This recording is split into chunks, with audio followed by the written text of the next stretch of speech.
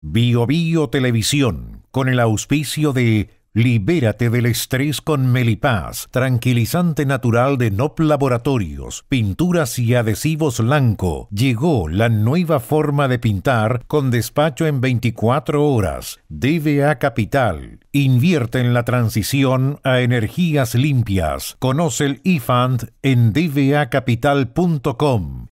Y nuevo Aeolus de Dongfeng. Presentan Comentarios de Tomás Mochati.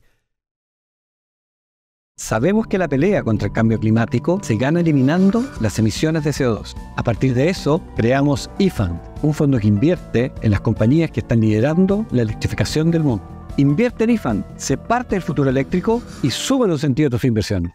¿Andas acelerado? ¿Te sientes más irritable y alterado? ¿Te cuesta dormir bien? Tranquilízate naturalmente con Melipaz, que calma la ansiedad, relaja y reduce el estrés. Libérate del estrés con Melipaz. Pídelo en todas las farmacias del país. Sorpréndete con la nueva línea de vehículos Aeolus Dongfeng sus modelos i3 y GS Cross.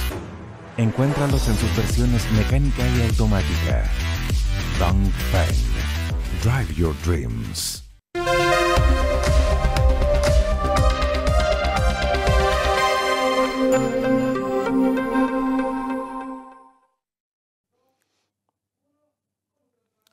El presidente de la República ordena el trabajo legislativo. No solo tiene iniciativa exclusiva en numerosas materias, de manera que no se puede legislar en estas materias, en ellas, a menos que solo él lo quiera, sino que además, a través del sistema de urgencias, resuelve la prioridad con que debe tramitarse cualquier proyecto de ley. De acuerdo a la pulsión presidencial, un proyecto, a su total y entera voluntad, puede ser tramitado con urgencia simple, extrema urgencia o discusión inmediata el presidencialismo obliga a los parlamentarios a bailar, mejor digo, tramitar al ritmo de la moneda. El pajarete es un, es un brebaje típico chileno, el pajarete. Es un vino con denominación de origen. Es elaborado por viticultores del Valle del Huasco y, y del Elqui hace muchos años. Pero digámoslo con sinceridad, es un vino dulzón que no está entre los mejores postos nacionales. Gabriel Boric puso a la ley que declara Día Nacional del Pajarete, el 15 de septiembre, suma urgencia. Esto significa que el proyecto debe ser conocido y despachado por la respectiva Cámara en el plazo de solo 15 días. Entonces tendremos nuestro Día del Pajarete. También se está tramitando una ley que declara un día como el Día del Arriero. Pero todo esto ocurre, suma urgencia para el Día del Pajarete, mientras descansan porque no hay acuerdo en la ley de infraestructura crítica, la ley de inteligencia, la ley que crea el Ministerio de Seguridad, la que regula las reglas del uso de la fuerza y tantas más. El pajarete va a servir, si usted se anima, si lo toma en cantidad, a olvidar en medio del sopor que las prioridades están cambiadas. ¿Quiénes presentaron el proyecto del Día del Pajarete?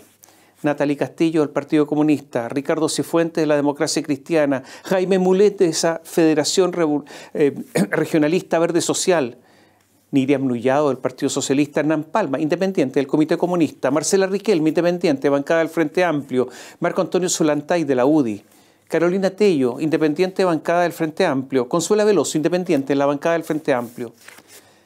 Lo notable es que este proyecto de ley para establecer el 15 de septiembre como, el Día del Pajarete ha tenido cinco urgencias por parte del presidente Gabriel Boric entre los meses de enero y mayo. Al presidente le interesa mucho, pero le interesa muchísimo el pajarete. Hablemos de la derecha. Max Luxic, el hijo de Andrónico Luxic, el hombre más, más rico de Chile, riquísimo, mucho más rico que Donald Trump, quiere dedicarse ahora, Max, a la política.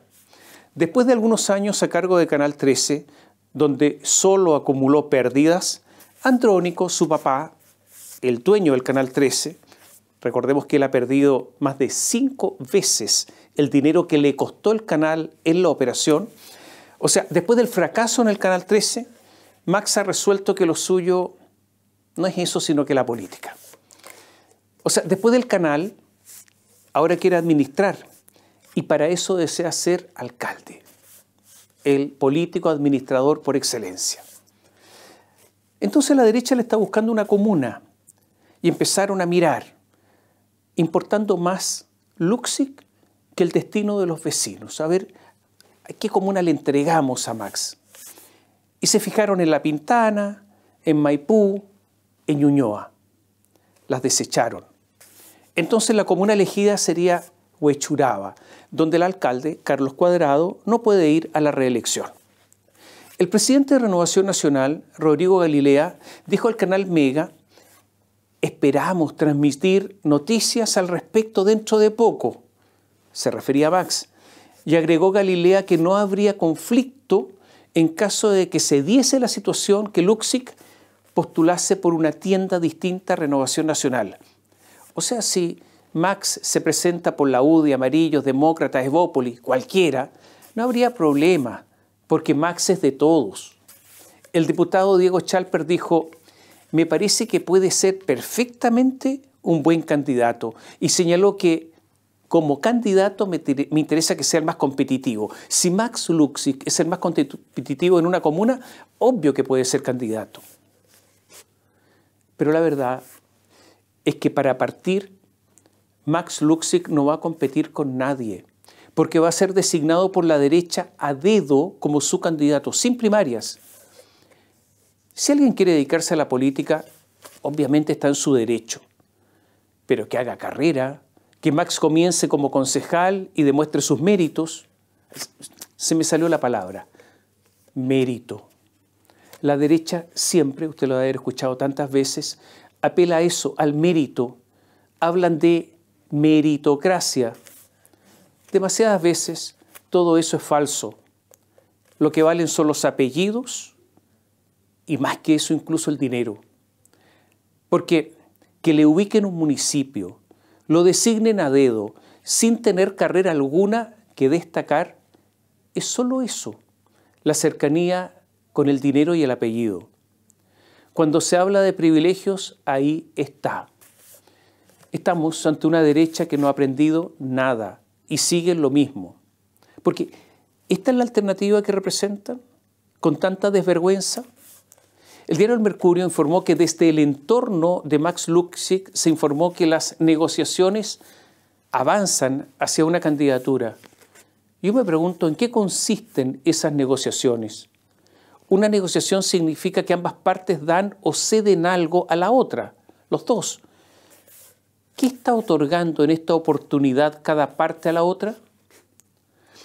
Cuando Sebastián Dávalos, usted lo recuerda no? Sebastián Dávalos y Natalia Compañón, el hijo de Michelle Bachelet, la nuera de Michelle Bachelet, querían hacer el negociado de cabal con los terrenos de Machalí, fue el padre de Max Andrónico quien en una reunión personal les otorgó cerca de 7 millones de dólares sin garantías suficientes, algo que usted obviamente no puede lograr.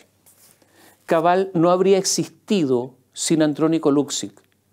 Fue, como llaman los abogados, un partícipe necesario. Y ahora Max tiene el mismo trato, pero ahora se lo da a la derecha, un trato de privilegio. El estallido social no fue solo el actuar de unos delincuentes, que los hubo y muchos. No fueron solo barras bravas y anarquistas. No fue, para los que lo creen, una revuelta organizada solamente. También había mucha gente cansada, agotada por este tipo de cosas de la derecha. La derecha que hace rato que no tiene propuestas, salvo en seguridad, sigue, parece, igual. No ha aprendido nada. Sería bueno que la candidata inspectore Evelyn Matei se pronuncie sobre esto. A lo mejor la vamos a ver sacándose fotos con Max. Un dato acerca de la gestión de este candidato. Canal 13 reportó 3.258 millones de pesos de pérdidas durante el primer trimestre, solo el primer trimestre de 2024. un alza respecto a los 2.956 millones de pérdidas que reportó en 2023.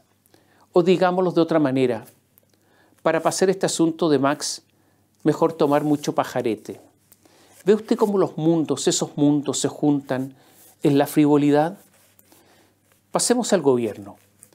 Hace algunos días fuimos testigos de un acto de creatividad.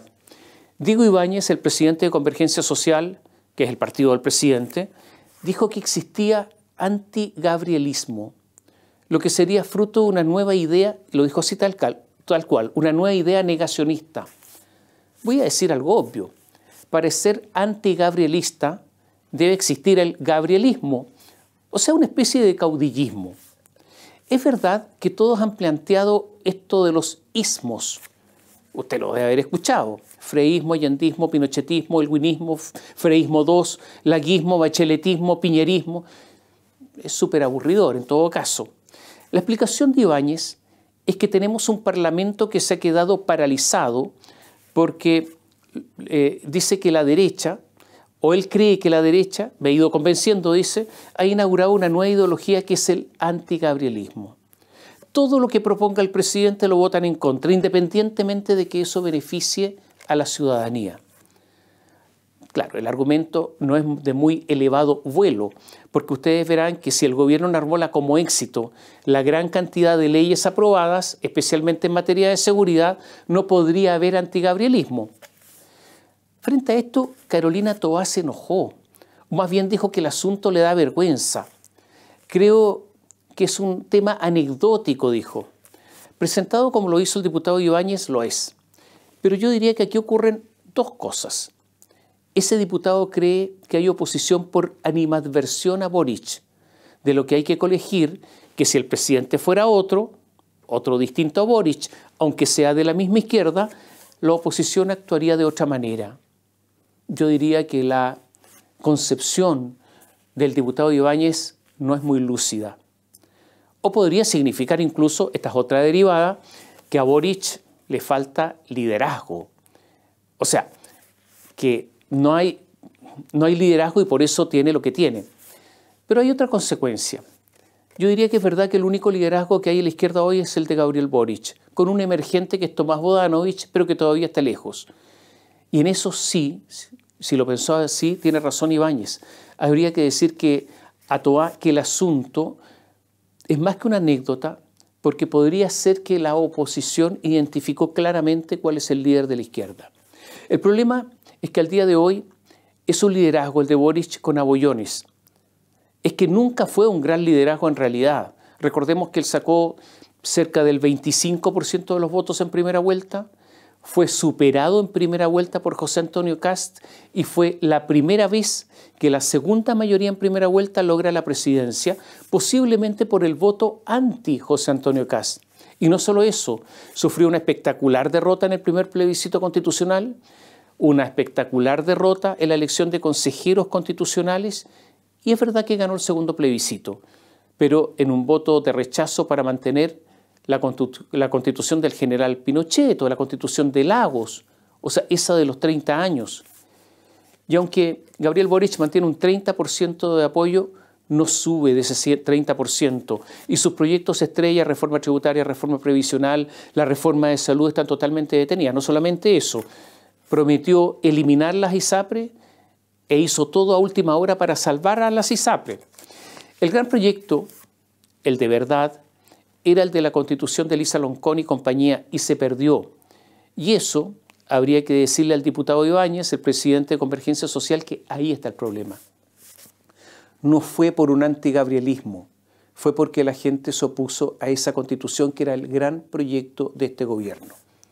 ¿Lo podrán entender alguna vez? Después de la cuenta pública, comienza obviamente a terminarse el gobierno, no porque falte poco tiempo, sino porque carece de mayorías y porque se va a entrar en una lógica electoral. Es la época en que las posiciones se extreman y los conglomerados empiezan a hablar a su propio sector. Un ejemplo es la condonación del crédito con aval del Estado. Porque cuando se reflotó el tema ahora, en, las últimas semanas, ¿a quién le, le habló Gabriel Boric? ¿Cómo abordar una promesa imposible y que además en el tiempo en que la anunció se le dijo que era imposible. Entonces lo que ocurre es que el presidente tiene que equilibrarse entre su sector y el otro, ese que en voz de la presidenta del Partido Socialista, Paulina Bodanovich, lo acusó, a propósito del CAE, de un anuncio solo electoral y populista. El problema en el oficialismo es que hay dos sectores muy reconocidos, eso que se ha dado en llamar las dos almas. Una de ellas, la que queda de la exconcertación, está venida menos por su radicalización hacia la izquierda y por sus liderazgos antiguos, poco renovados. Y la otra, la del Frente Amplio y el Partido Comunista, tendrá que confirmar sus posiciones, sus deseos de cambio profundo, sus deseos de cambios estructurales. ¿Estará en esa Gabriel Boric? ¿En esa segunda? Yo sospecho que sí, porque la esencia no puede ser traicionada permanentemente. Y yo diría que una luz la dio el gobierno hace pocos días, sometiéndose a las peticiones de la Central Unitaria de Trabajadores, la CUT. Por ejemplo, con el anuncio de la negociación colectiva por rama, uno de sus viejos anhelos, porque esto le daría un poder enorme y le permitiría un sueño. Le permitiría a la CUT entenderse de igual a igual con los grandes empresarios, obviando la suerte de los más pequeños y Boric accedió a presentar un proyecto de ley en este sentido, por lo tanto manteniendo más bien esta posición más de izquierda con el Frente Amplio y con el Partido Comunista. Naturalmente que por el momento en el oficialismo hay un discurso unitario. Circulan las llamadas minutas, esas que hacen los estrategas del segundo piso para que dirigentes, parlamentarios, ministros repitan todos al unísono la misma canción, como loro, es una especie de cartilla. ¿Cuál es la idea? Sostener que este gobierno estabilizó el país. Lo dijo Camila Vallejo, textual. Cuando nosotros llegamos al gobierno había mucho abandono por parte del Estado en materia de seguridad. Imagínense, en materia de seguridad. Estaba todo abandonado. 50% de la flota del parque de carabineros estaba inutilizable abandono del Estado. Las radios portátiles no se renovaban en 22 años y nosotros las renovamos.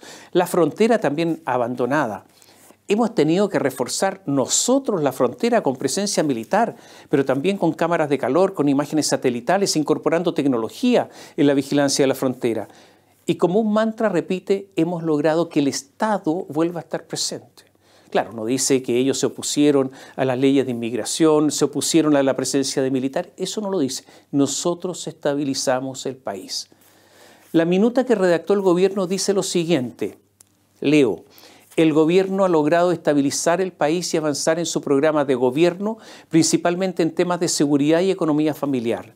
Esto debido a la unidad del oficialismo y pese a las obstrucciones de la oposición. Sigo leyendo textual la minuta oficialista. Habiendo cumplido con la tarea de estabilizar el país, avanzando, cumpliendo con sus compromisos y con una permanente obstrucción de la oposición en la reforma de pensiones, el gobierno en estos años ha avanzado en resolver las urgencias de las familias, como son la economía y la seguridad, sin, abandonar las banderas centrales del programa. Eso se lo dice al Frente Amplio y al Partido Comunista no nos hemos olvidado. Entre paréntesis, ¿se acuerda que antes se dijo que sin nueva constitución no se podía aplicar el programa? Y ahora se dice que se está aplicando el programa y no hay constitución. No hay constitución de la que querían.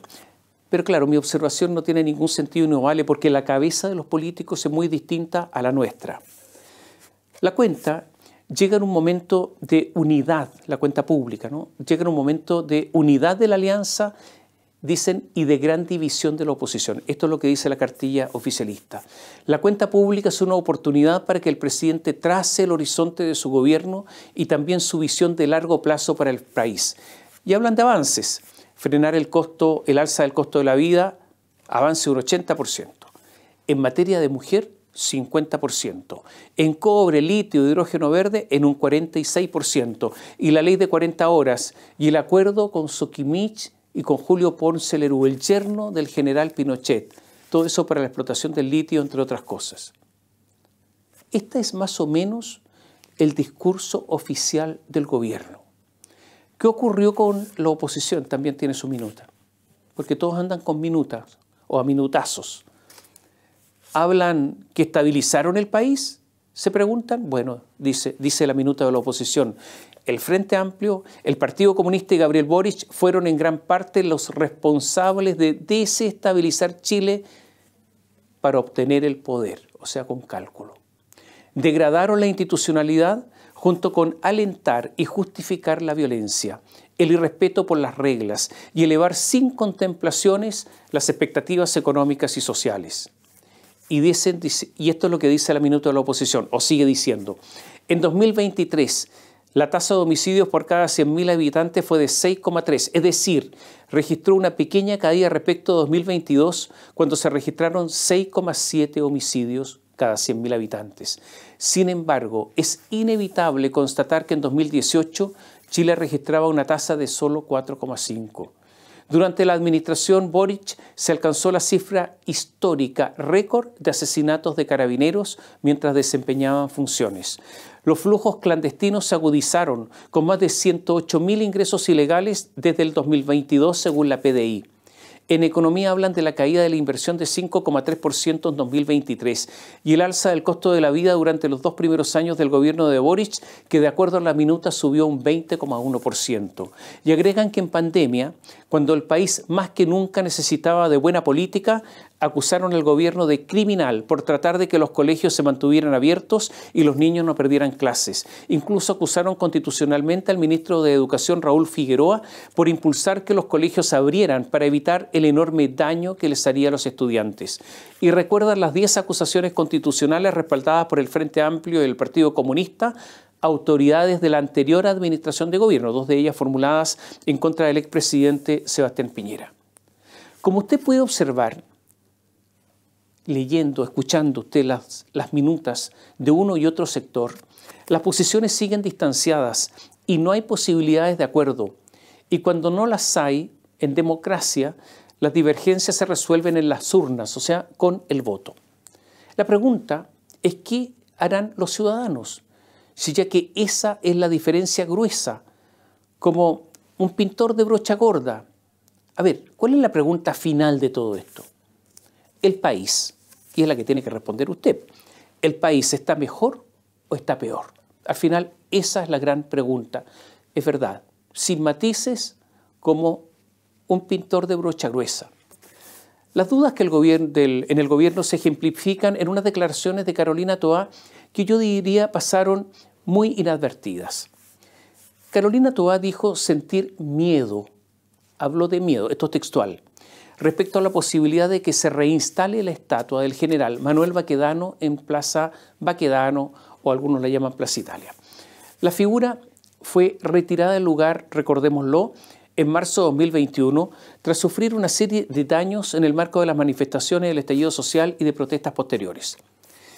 Dijo Carolina Toa que la estatua fue objeto de tensión, por lo que ella, en lo personal, buscaría algo que nos pacifique en ese lugar. Este es el reflejo de que más allá de las palabras, el octubrismo sigue siendo milla en el llamado socialismo democrático, porque a Carolina le da miedo.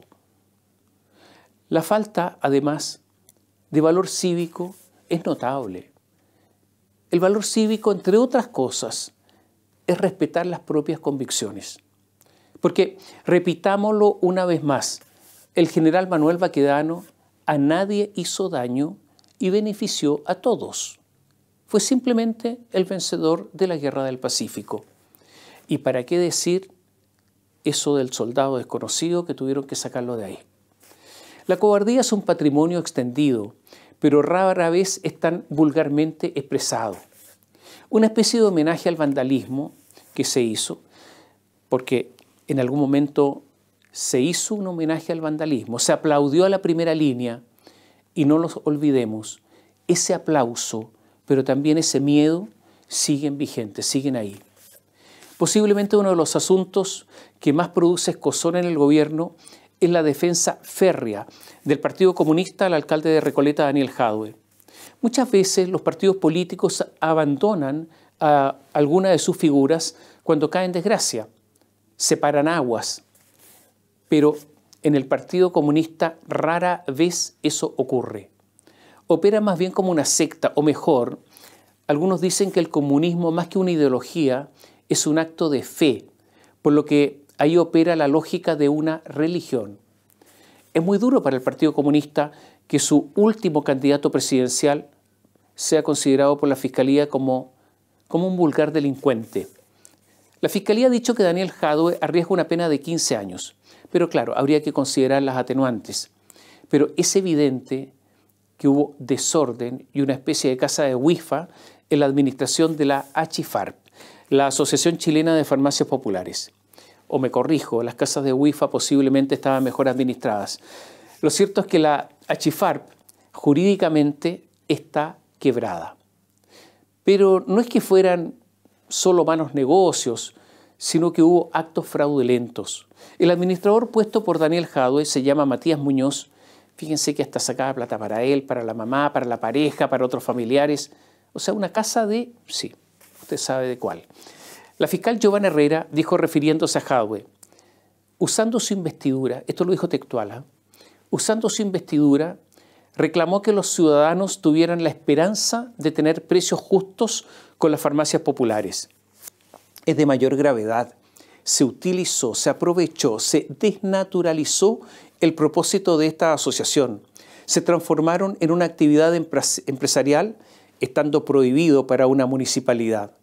Las personas que ahí trabajaban no tenían capacidades, estaban destinados al fracaso los imputados actuaron con total desprecio por razones personales y lógicas electorales.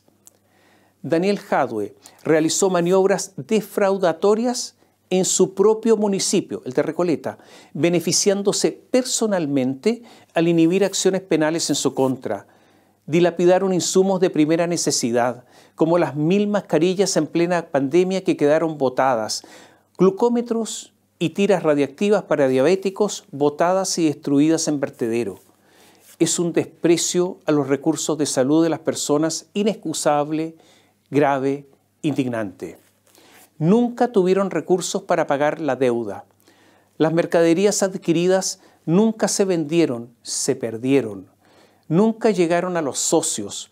Se endeudó, se llevó a la quiebra la asociación, se pagó con el patrimonio social y la mercadería nunca llegó a los socios. Y cuando se habla de los socios, habla de los municipios.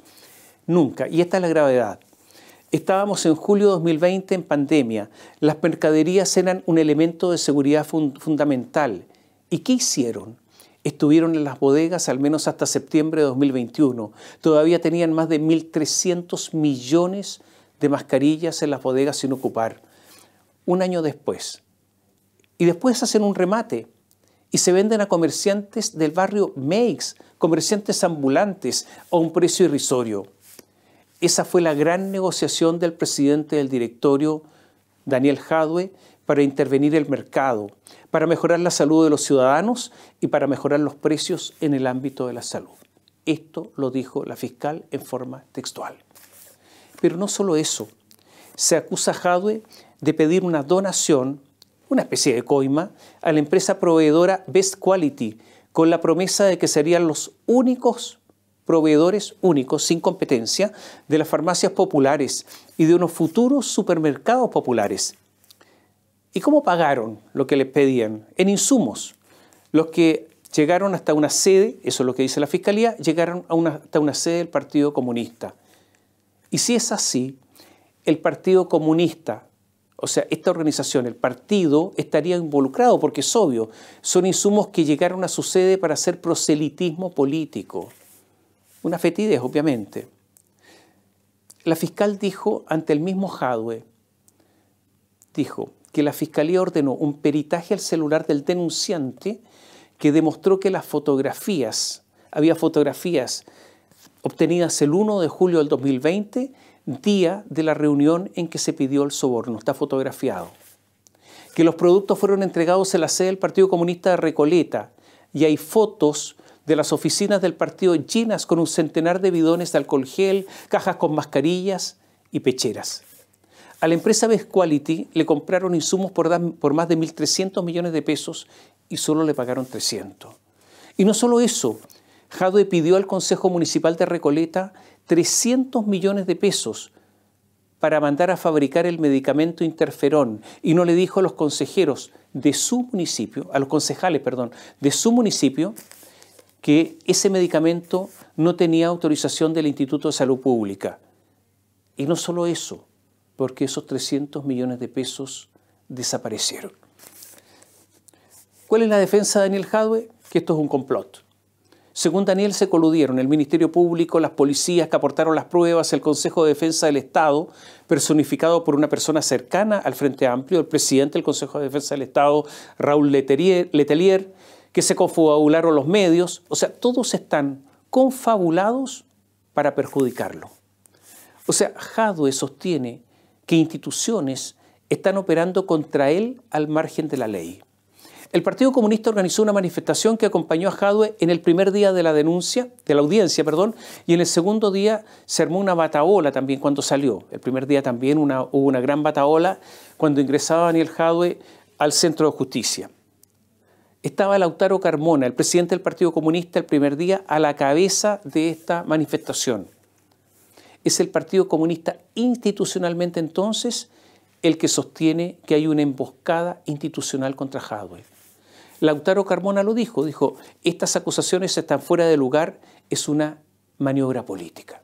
Textual, muy grave. Recordemos que en la cúpula del gobierno hay eh, conocidos, notables militantes comunistas, Nicolás Cataldo, ministro de Educación, Janet Jara, ministra del Trabajo, Camila Vallejo, la ministra vocera, pero además hay muchísimos cargos muy importantes que pertenecen a militantes del PC. El subsecretario Manuel Monsalve dijo que esta manifestación del Partido Comunista se parecía a una barra, una especie de barra brava, lo que significó el enojo del Partido Comunista. El diputado Boris Barrera de ese partido dijo, yo encuentro desafortunado el término que utilizó el subsecretario. Yo la única barra que pertenezco es a la de Colo Colo, no pertenezco a otras barras y soy miembro de un partido político. Lautaro Carmona dijo, nunca he sido barra, actúo como político, podría haber sido acusado de barra todas las veces que me movilicé frente al Poder Judicial. Hay un problema adicional. Es que un asesor de Manuel Monsalve, pagado con platas públicas, Juan Andrés Lagos, miembro de la cúpula del Partido Comunista, participó en la manifestación. Estaba ahí como un barrista más. La defensa que de él hizo Monsalve fue de guardería, o sea, fue una defensa infantil. Dijo que no había incumplido sus obligaciones laborales. Pero el asunto, obvio, es otro. ¿Qué asesoría Él es un asesor político. ¿Qué asesoría política puede hacer un personaje que desfila por las calles sosteniendo que las instituciones son una farsa y que se coluden en contra de un ciudadano? La situación de Juan Andrés Lagos es insostenible y constituye una ofensa que los ciudadanos, con sus impuestos, le deban pagar a este señor por intermedio de Manuel Monsalve. El Partido Comunista juega lo que ellos llaman el internacionalismo. Por eso, 30 organizaciones del exterior firmaron una carta de apoyo en favor de estas, entre estas instituciones está la Asociación Latinoamericana de Jueces del Trabajo. Uno de sus directores es el chileno Álvaro Flores, del segundo juzgado del trabajo de Santiago y expresidente de la Asociación de Magistrados de Chile. Hasta el momento hay silencio de ese magistrado. Yo quiero recordar que en Estados Unidos hay un sistema de jurado formado por ciudadanos que determinan en un tribunal la culpabilidad o inocencia de una persona.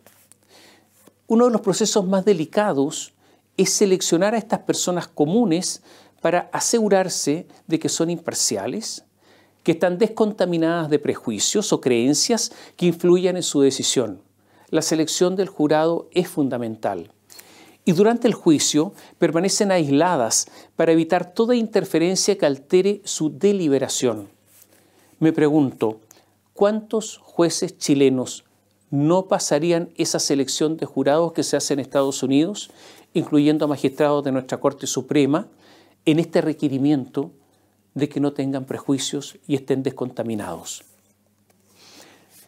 La economía está tendiendo a mejorar un poco, algo, debido principalmente al alto precio del cobre, un precio totalmente inesperado. El desempleo baja levemente, un 0,2%, porque además aumenta el empleo informal, aumenta los empleos públicos una vez más. También el sector privado está creando empleo en estos momentos. Sin embargo, la caída del 6,2% de la inversión demuestra que estamos ante una economía y con un crecimiento potencial bajo. Estamos ante una economía débil. El gobierno de Gabriel Boric, más allá de la retórica del ministro Mario Marcel, será el gobierno de más bajo crecimiento desde el retorno a la democracia, inferior incluso al segundo mandato de Michelle Bachelet, que fue de 1,9% promedio anual. Lo dijo Óscar Landerreche, economista de izquierda. La economía tiende a mejorar debido al fracaso del proyecto constitucional y del proyecto económico del gobierno. Así, para el gobierno me imagino, si es que hay un acto de honestidad intelectual, es duro felicitarse por la leve mejora de la economía. El Banco Central anunció un nuevo endeudamiento, esta vez con un premio, o sea, dándole a los inversionistas una alta tasa de interés para atraerlos y que deberemos pagar ese sobreprecio entre todos. La cartera acudirá tanto a inversionistas locales como internacionales para obtener entre 1.200 y 1.500 millones de dólares. Los títulos que se colocarían a comienzos de junio estarán denominados en pesos y contarán con vencimientos en abril de 2033 y octubre de 2040, para lo cual el central ofrece una tasa de interés referencial del 6,5% y cupones de 6 y 6,2% respectivamente, con un pago semianual una tasa de interés muy alta. Yo quiero recordar que poco antes del año 2000 Chile contaba con una deuda pública cercana a cero.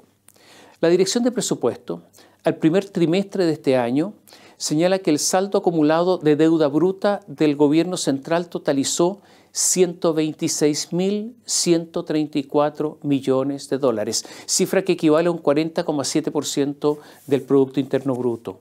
Dicho monto preliminar sería el mayor nivel de pasivos fiscales brutos registrados desde inicio de los años 90 en adelante.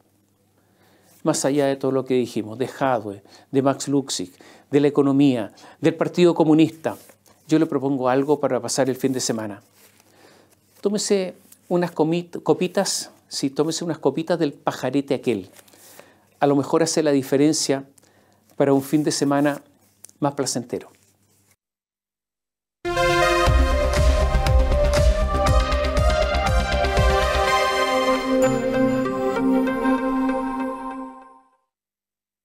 Bio Televisión, con el auspicio de Libérate del estrés con Melipaz, tranquilizante natural de NOP Laboratorios, pinturas y adhesivos Lanco. Llegó la nueva forma de pintar con despacho en 24 horas. DVA Capital. Invierte en la transición a energías limpias. Conoce el eFund en dvacapital.com. Y nuevo Aeolus de Dongfeng presentaron comentarios de Tomás Mochiati. Sabemos que la pelea contra el cambio climático se gana eliminando las emisiones de CO2. A partir de eso, creamos eFund, un fondo que invierte en las compañías que están liderando la electrificación del mundo. Invierte en eFund, se parte del futuro eléctrico y sube los sentidos de tu inversión. ¿Andas acelerado? ¿Te sientes más irritable y alterado? ¿Te cuesta dormir bien? Tranquilízate naturalmente con Melipaz, que calma la ansiedad, relaja y reduce el estrés. Libérate del estrés con Melipaz. Pídelo en todas las farmacias del país. Sorpréndete con la nueva línea de vehículos Aeolus Dongfeng sus modelos i3 y GS Cross. Encuéntralos en sus versiones mecánica y automática. Dongfeng. Drive your dreams.